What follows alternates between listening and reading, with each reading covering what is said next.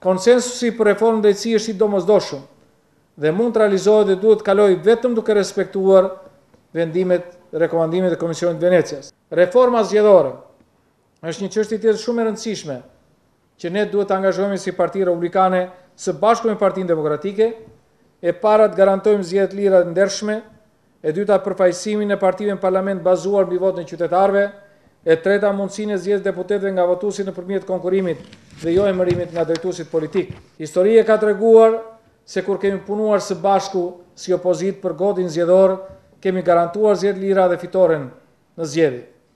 Kjo reformë është jetike për të ndërtuar një parlament përfaqësues të interesave të shqiptarëve dhe jo të klaneve kriminale, korruptive dhe politike.